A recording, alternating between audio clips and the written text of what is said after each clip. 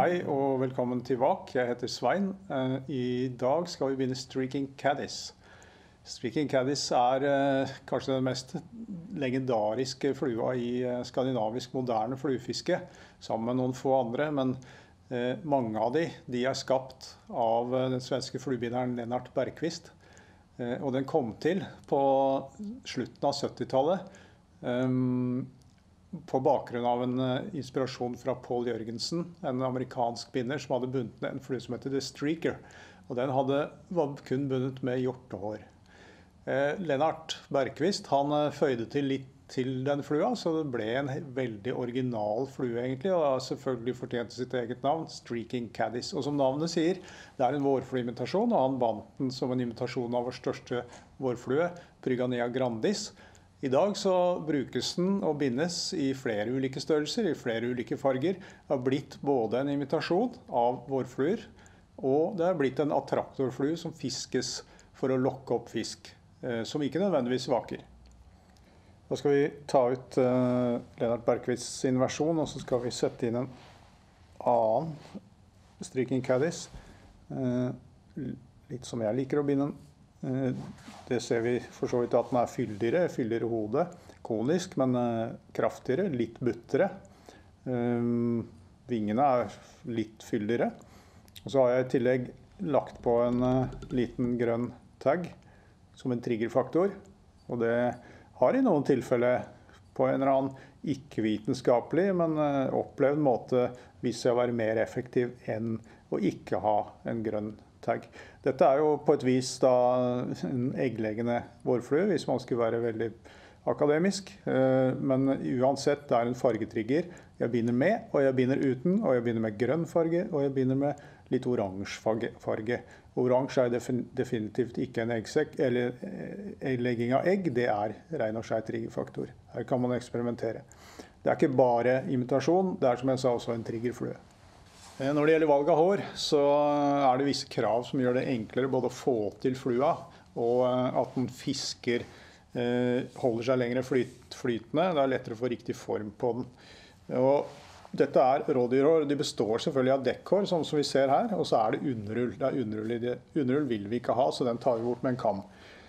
Eh, og så liker jeg, dette er jo en subjektiv sak, ikke objektivt riktig, men jeg syns at de hårene som har eh, ganske langt grått felt, og så går over i en fargeforandring, og over i, de, de, i dette er naturell, i de lysebrune eller mediumbrune spissene, at det farga feltet der ikke er så langt. Eh, fordi Det betyr at eh, de grå fiberne er den mest luft, luftfylte delen. Når du kommer ut til de tynne, fargede delene her, så er det ikke så mye luft i fiberne.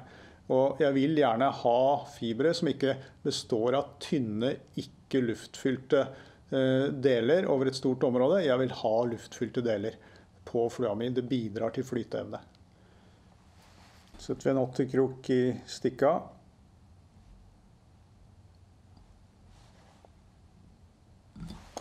Det er litt ålreit å få på seg briller, tror jeg. Sånn står rett. Og jeg bruker en uh, multifilamentråd, uh, Semperfli nanosilk. Og dette er uh, 6.0 eller 100 denier.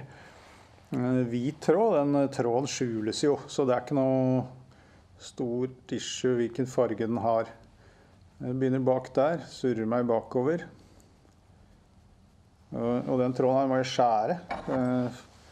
Den er litt litt lite vennlig mot sakser. Så går jeg litt ned i bøyen, for jeg vil at uh, dubbingen skal gå litt bakfra. Uh, ned i krokbøyen. Så går jeg litt framover igjen, for da kan jeg dømme bakover og framover.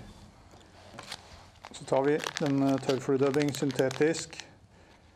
Farge dark tan, som sagt, kan bruke mange andre farger her. Det skal være relativt rikelig med dubbing. Legge på en litt stor matte. Dubber ikke veldig hardt. Men nok til at vi kan lage en relativt eh, fyldig kropp bak som avsmalner forover.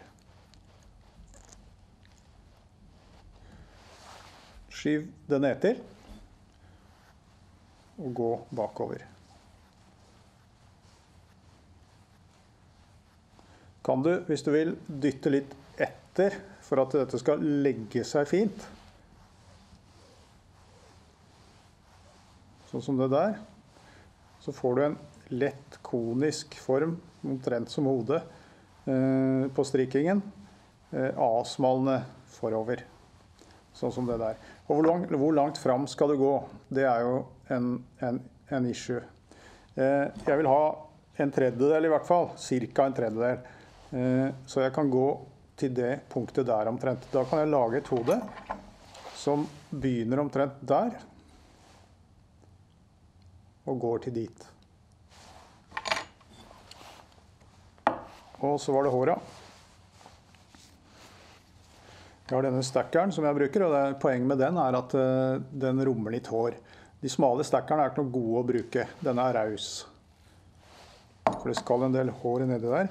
Jeg velger ut en bit. Det er snakk om blyanttykkelser her, men jeg tror ikke jeg skal gi noen angivelse på det. Jeg bruker relativt rikelig med, med hår. Tar det litt på feelingen. Dette skal jo presses sammen også, så bruker du for mye hår, så vil, eh, vil du ikke få det eh, festa til kroken. Så en eller annen lite kompromiss er det, samtidig som du skal ha noe å klippe på. da. Men den mengden her tenker jeg er ganske ålreit. Og de er ca. like lange.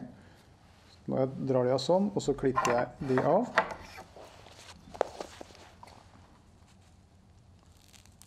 Der. Raus bunt, dette. Og så har de en del underull, og det vil forsvinne litt hår. Og der ser du jeg grer ut underulla. Pluss noen hår som sitter litt løst i klypa mi. Viktig å få ut underulla, for hvis du ikke får det, så vil de gjøre at du ikke får trådpresset helt ned mot krokstammen. Eh, samtidig så vil vil det bli ujevnheter i, i eh, hodet på, eh, på strikingen. Så hårene vil sprike litt usymmetrisk. Eh, der er de. Tar de opp i stackeren. Tar de over i den hånda der. Tar de oppi, sånn som det. Der omtrent. Og så tar jeg og stacker de f.eks. mot knoken.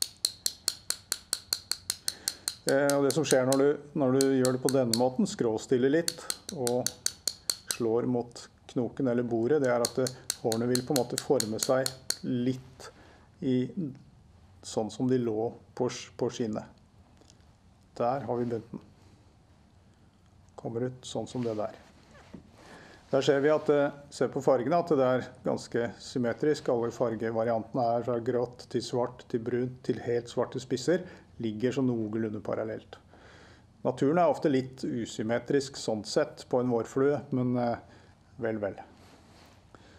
Så kommer på en måte et lite triks, og det er superlim. For at dette her skal uh, sitte bra, så bruker jeg superlim. Superlim kan være sånn at det sier man det hører ikke hjemme i den bindinga her, men uh, Fluebindepolitiet er vi ikke så interessert i. Så vi um, gjør det sånn at det blir holdbare fluer. Nå har jeg lagt fra meg stackeren så den ikke ruller. Og der er bunten. Skal jeg måle til. Og hårene reiser seg litt, så jeg mister litt lengde på hårene når jeg tar og knyter de fast. Så jeg går litt bakenfor krokbøyen, omtrent der. Og så er det jo en fordel å bikke de litt ut før jeg før jeg gjør dette her, der omtrent. Så tar jeg det over i den hånda der, og der har jeg bunten. Og nå skal jeg begynne med å jobbe meg gjennom den. Tar ett tørn der. Jeg liker ett tørn, for jeg har ganske kraftig tråd, eh, som ikke syns. Og så presser jeg med fingrene litt ned, så at de går litt omkring kroken. Så strammer jeg til. Hvis jeg strammer til for mye nå, så skjærer jeg hårene. Der har jeg maks press. Og så går jeg med samme press gjennom hele bunten. Og du kan godt ta ganske mange tørn her, for det gjør ikke noe. Tråden syns ikke, den forsvinner inn mellom hårbuntene. Og der er jeg ved, helt ved fronten. Sånn blir det seende ut. Og øyet er eksakt der. Nå kan jeg, for å finne øyet, så kan jeg prøve å dra av, klippe av noe av hårene med tråden. Og det gjorde jeg der. Ga det ekstra press. Så åpner jeg opp igjen. Så tar jeg vekk noen av de hårene. Da får jeg fram øyet. Kan gjøre det en gang til. Der. Tar vekk litt hår.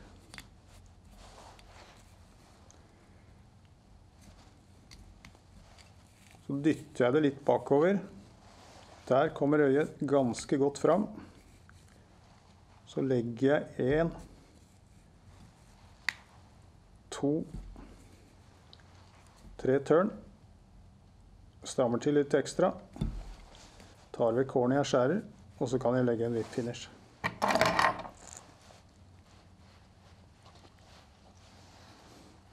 Sånn. Og når du skal legge whip finish, så syns jeg det er best å stryke hårene på topp unna. Da kan jeg styre ganske bra.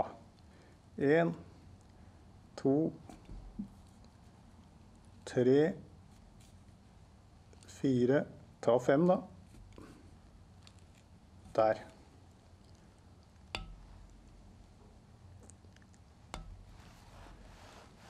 Så strammer jeg til litt.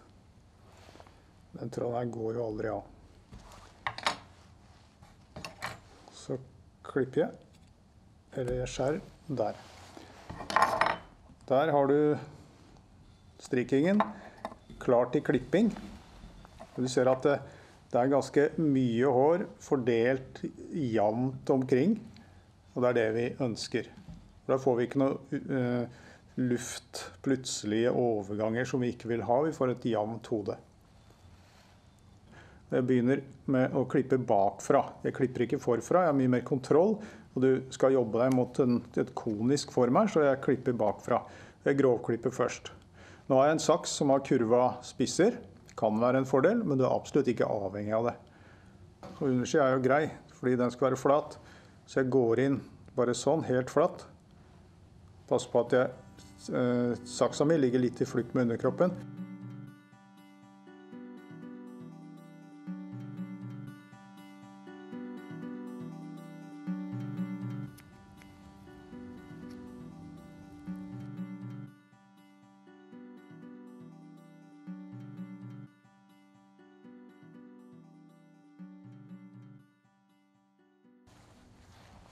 Ja, det var nok en stryking i boksen. Ehm, jeg bruker den flua her eh, hele sesongen, jeg. Det, vårfluer eller ikke vårfluer. Ehm, det er en triggerflue. Jeg har fiska med en rett etter isløsning i Troms og hatt kjempefiske.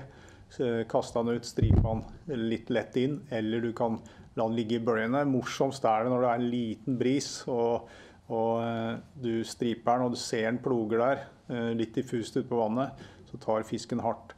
Og selvfølgelig, når du kommer litt ut på sommeren, sånn etter sankthans, så begynner jo vårfluene ganske kraftig her. Og jeg har hatt sinnssvakt godt fiske med den seint på kvelden, på natta. Det er jo en silhuettflue da, og den skaper bevegelse og litt eh, uro i overflaten. En stor triggerfaktor. Så bruker jeg den selvfølgelig på høsten igjen, når eh, fisken begynner å bli litt aggressiv, nærme seg gytinga. Litt store størrelser. Allround-flue kan brukes enten det er vårfluer eller ikke.